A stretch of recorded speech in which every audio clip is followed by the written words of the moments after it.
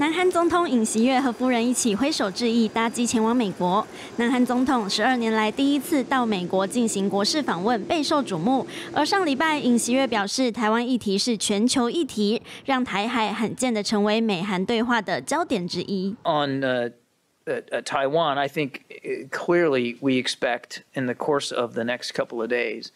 that tensions in the Indo-Pacific will be high on the agenda. 白宫也指出，总统拜登会一贯的清楚表明这些立场。That there's no reason for these tensions to devolve into any kind of conflict. Nothing's changed about our one China policy.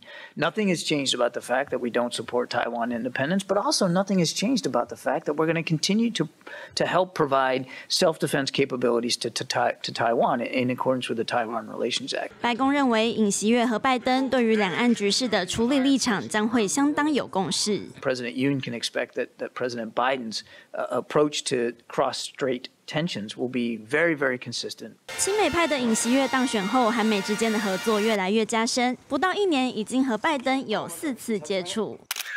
紧邻白宫的艾森豪行政办公大楼已经高高挂起美韩两国的国旗，表示欢迎。不过，美韩友好的局面，中国可不怎么高兴。美国为了维护自身的霸权私利，强推脱钩断链，不惜胁迫盟友配合美国对华遏制。